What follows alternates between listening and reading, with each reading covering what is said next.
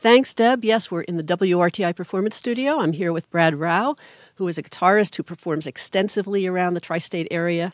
He's developed a distinctive teaching style combining music, physics, philosophy, and humor, and we'll talk about that in a moment. But first, let's get to some music. The first piece, I understand, is Vals Venezolano by Antonio Lauro.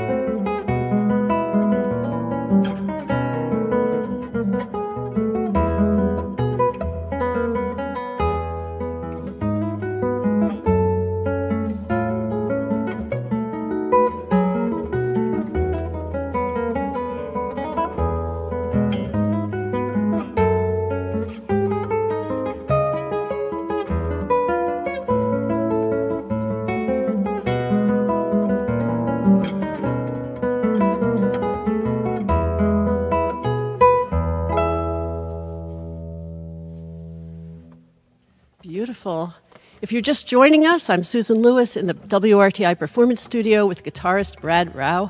Welcome. Thank you. And we are also streaming live on our website, so you can listen on air or go on our website and see the video. Brad, it's great to have you here. Yeah, it's great to be here. Thank you. You've been playing guitar since you were 12. Yes. And what were your influences how how did you end up playing classical guitar? Um, well, I my dad plays guitar. He's sort of a blues rock guitar player, so I've always been around guitar. I started on drums. Um, my dad and my uncle had a little band that we did, um, and then uh, Nirvana came out in the '90s, and I, of course, loved that, and I started with that kind of stuff. Um, and then when I was uh, about 15, I saw a classical guitar player, um, and I was just blown away. And I tried to figure it out by ear, and I ended up taking lessons, and here I am. Wow! So you played rock guitar and you played drums. What was it about classical guitar that blew you away? Well, I, classical guitar for me um, has uh, its technically, physically, with the technique, the highest demanding. And then emotionally, I felt that it was the most moving. So it just seemed to me like it was just way beyond anything any other style was doing that I knew of at the time. Wow. It just so it just touched you. Yes. Yeah. Right away, I was hooked. Could you describe the guitar you're playing today? This is a William Henderson guitar. Um, it's number 48. There's only 52 of them in the world. William Henderson is a maker in Baltimore. Um, so this is custom made just for me. Um, it great guitar. I've had it for many years, and it does me well. When you say custom made just for you, do you are you involved in the in the making of it? Yeah, well, I went down to his shop and I picked out different dimensions. I picked out the thickness of the neck and um, the the type of woods that are going to be used. So I tried out different guitars, and I was I want this body, but I want this neck, and you know. So, oh, so yeah. cool. So it's very personal. Yes. Now, you were a semifinalist in the International Guitar Competition in 2008 yes. in Texas. Yes. And you went to New England Conservatory and got a master's in 2015. Yes. Um, I gather that guitar is a relative newcomer to conservatories. Yeah, that's true. Um, I think that classical guitar um, is really in its infancy if you compare it to violin or um, piano. Um, if you look at their history, they have long histories. They've kind of figured out how to do that, and I think that we're still, as a community, kind of still trying to figure out the correct way to play or the multiple correct ways of playing. Um, so it's really exciting to be a part of that. So people take different paths to in their careers. Yeah, I, that's yeah, absolutely. Um, there really isn't a set way to uh, be a classical guitar player, and today and every day there's new opportunities with the internet. So it's really exciting. It's an exciting time to be a musician. That's cool. Well, I understand the next piece is by a contemporary Russian composer based on a short story by Edgar Allan Poe. Yes, yeah, I'd love to read uh, the beginning of this here. During the whole of a dull, dark, soundless day in the autumn year, when the clouds hung oppressively low in the heavens, I have been passing along on horseback through the singularly dreary trek of country. At length found myself at the shades of the evening dew within view of the melancholy house of Usher. Okay. All right, so I'd love to play this.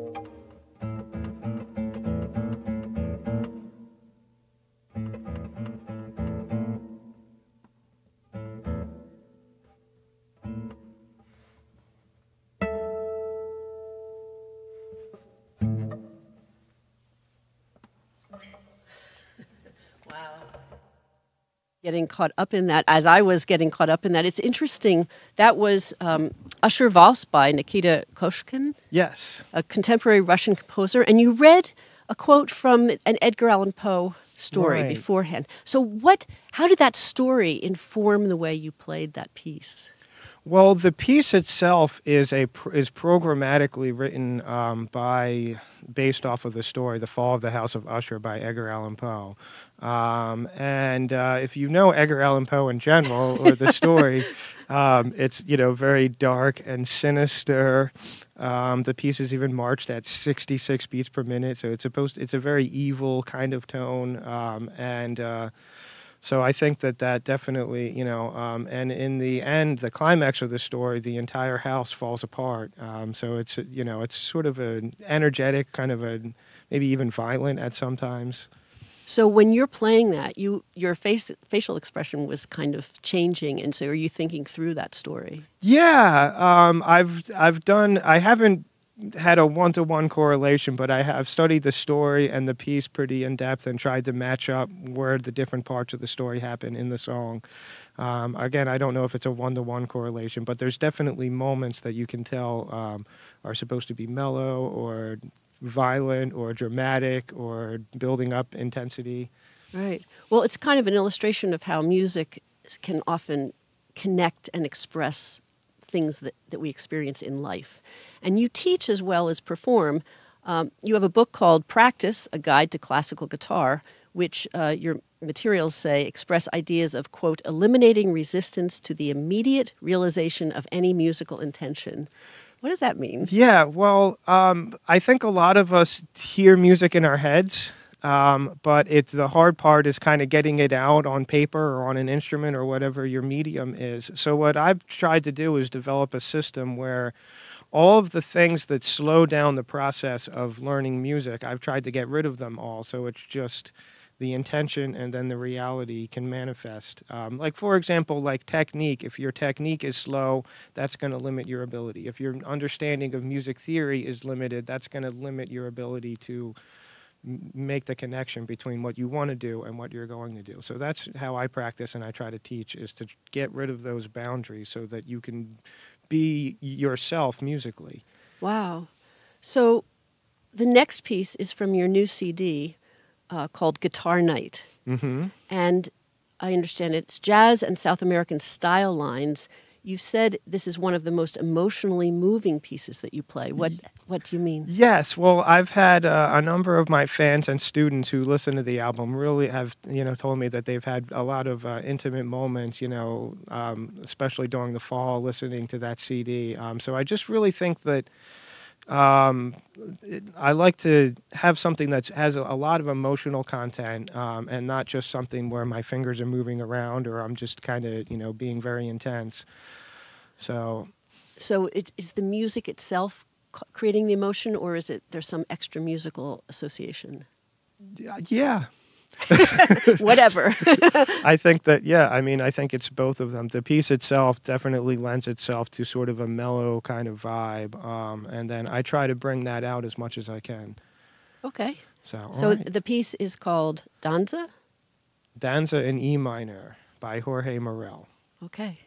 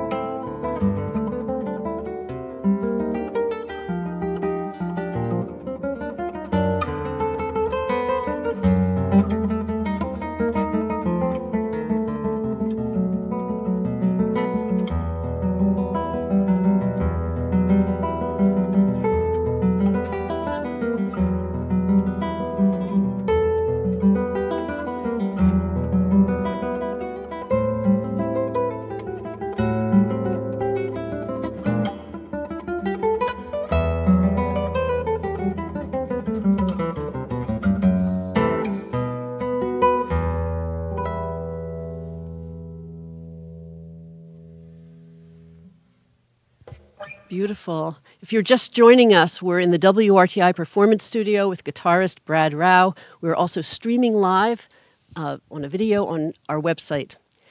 Brad, um, we've heard today music by Venezuelan composer, Russian composer, and our, that was Argentinian composer. Are you drawn to a certain repertoire? We talked earlier about how classical guitar repertoire is actually much broader than some people realize. Right. Well, a lot of people seem to think that it's a limiting kind of style, but it really covers hundreds of years, everything from the Renaissance today, and music from all different countries. Um, I play music from Japan um, and uh, from almost every, you know. Uh, a lot, a lot of different material. So there's a lot to choose from. There's a lot of variety, everything from fast to slow, exciting, mellow, dramatic, um, and I really that's why I love it so much. You know, and it keeps me busy. And how do you find these pieces? Um, a lot of times listening to recordings. Um, I you know I love to listen to John Williams, Julian Bream, um, and going to you know some of my teachers, uh, Eliot Fisk and Jason Vieaux. Um, also, you know I kind of see what they're playing. So there's a you know there's a, never-ending amount, and then with YouTube, it's very easy to keep in touch with the new the newest pieces and the or the trendiest pieces uh, that are coming in. With your background as a drummer and a rock musician, does that influence how you approach classical guitar? Absolutely, yeah. Um, being a drummer, um, really gave me a, a, great sense of rhythm. And I think one of the reasons I've been drawn to the South American music is the polyrhythms or the hemiolas, whatever the complicated rhythms, um, seem to be very natural for me um, as a as a drummer. So I think that, and then uh, and the, and being a rock musician too. I think, of course, because I try the rock is in energy. I think most more than anything else, and I try to, when appropriate, try to put that into my guitar playing as well. So earlier today, before we went on, you were talking about your fondness for Bach. Yes, um, more like an unhealthy obsession. really? yes. Um, anyone who knows me, I have I have a hoodie that has a, a Bach hoodie, um, and I'm always talking about Bach. I think he's uh, one of the most amazing musicians, um, and I think his music is one of mankind's greatest achievements. Um, Bach's music for me is uh, some of the most intellectually stimulating, but also some of the most emotionally uh, music that you can that I think I've ever heard. Um, so it's really exciting to play it and to study it. I've never gotten to the bottom of a Bach piece. Every time I play it or look at it, I see something new. Very much like a Monty Python movie. so describe the next piece you're playing. So this next piece is. Um, was originally written on cello, and then Bach arranged it for lute, and now I'm going to play it on guitar. So um, it's a fugue um, that he that he wrote. Um, a fugue is where there's a subject that is moved around in different keys, and then they take the melody and break it up. Um, so it's a very exciting piece, um, kind of asymmetrical, um, and one of my one of my favorites. Great.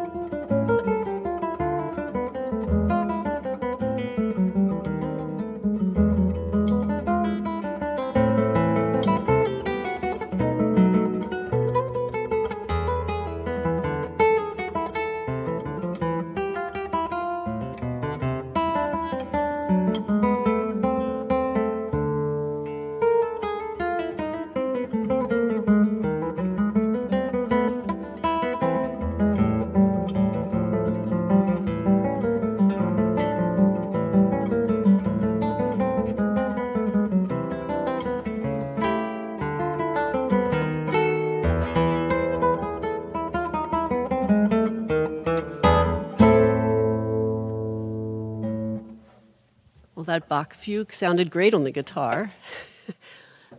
Brad, does Bach have anything to do with your teaching style, which has been described as combining music, physics, philosophy, and humor? Um, yeah, I would say I think that Bach. People find uh, when people look at Bach, they find all kinds of things. I've heard people say there's fractals in Bach, and there's math, and there's emotion, there's numbers, numerology. Um, so I think that when you uh, study Bach, you really see yourself, um, and you know, and something that I try to do in my teaching is incorporate a lot of different kind of things. I'm, I try to be a Renaissance man, so if I can take different ideas that are not related to music and apply them to music, I think that can make things uh, very interesting. Um, For example. Um, well, the one example um, is uh, I got a book by Bruce Lee called The Tao of Jeet Kune Do. Now, Bruce Lee is a martial artist, and I am definitely not a martial artist. Um, I love to watch the movies, but he there's a quote from this book where he says, "Consciousness of the self is the greatest hindrance to all physical activities," and I think that definitely applies to playing music just as much as martial arts. Um, and there's a number of other quotes in that book that actually directly apply to music word for word. Some of them you have to take out martial arts and put in guitar, but a lot of them, but that one, for example. And I think that when you're playing music, being too self aware, you can get in front of, you can block yourself. Um, so so you have to get in the zone. Yes, exactly. Yeah. Um, so Bruce Lee has been one of the people who's helped me be able to do that. Well, that's great. Well, thanks so much, Brad, for coming and sharing your music with us at WRTI.